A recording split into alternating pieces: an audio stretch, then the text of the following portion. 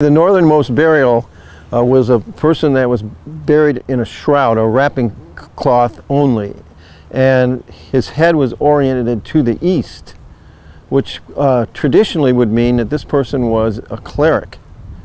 Uh, and we know that Robert Hunt, well, the first cleric, dies when the church was standing. Uh, so therefore, uh, we could conclude from that or at least that's some of the evidence of why the Reverend Hunt is here.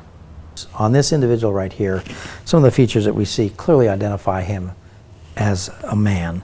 Uh, the robusticity of the bones, the development of the muscle architecture, the muscle attachment areas in the back of the skull, all of those features identify him as a male that's about about 39, 40, He's right in that age range.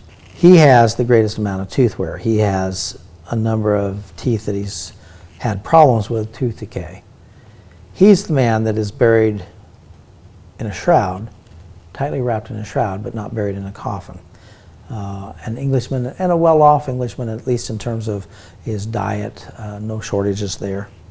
We would think that he probably is the first Anglican minister, Reverend Hunt.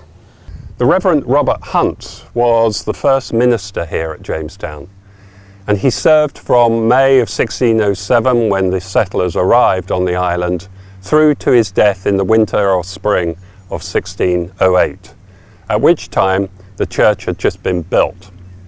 He came from the southeast of England, having served in the parish of Reculver on the northern coast of Kent, and then afterwards at Heathfield in the uh, Sussex Weald. And he was generally regarded by the early settlers as a man who was devout and reliable and there for them in times of adversity.